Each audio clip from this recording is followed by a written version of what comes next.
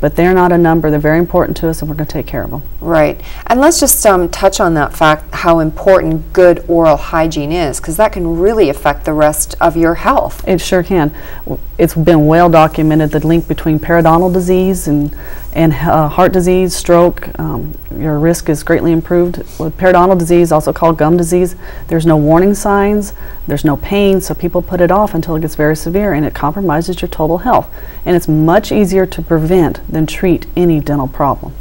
It's also really important too, like if you're an expectant mother, because a girlfriend of mine is pregnant right now, and she's you know doesn't really want to go to the dentist, but it's it's important to go. It's very important. Um, increased risk of low birth weight babies is a big link with gum disease, so it's important to get that taken care of.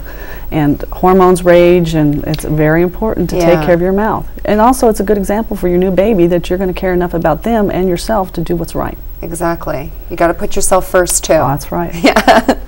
All right. Now, if someone has lost their teeth in an accident or just lost them, you know, for whatever reason, Mm-hmm. what can you do to help them replace those teeth? Well, things called implants, which is something also in the media a lot, we can get 90% of their chewing force, the natural teeth back.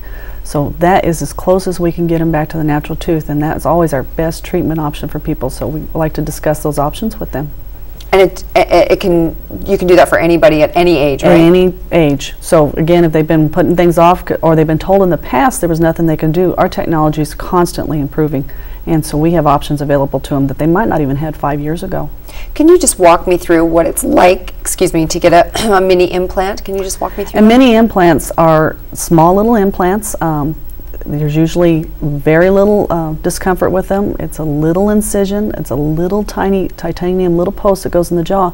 And if they have dentures, we can actually attach the denture right to that mini implant, and it gives them stability and confidence and get them eating what they want to eat again.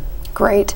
Now, I know in my parents' generation, it was just, you know, common that as you age, you get all your teeth pulled and you get dentures. But that's not the case these days, right? Well, it's really not the case any time span, but that's what just people believed. We're meant to keep those teeth all our life, and people like me are there trying to, to make sure they do that. So we start them very young, and we want to keep them keep their teeth all their life. They lose them, we can help them.